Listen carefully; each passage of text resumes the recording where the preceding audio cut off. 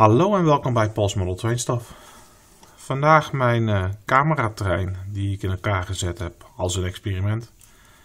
Ik heb uh, hier een Raspberry Pi Zero met wifi ondersteuning die via een kabel aangesloten zit op uh, de camera hier voorop.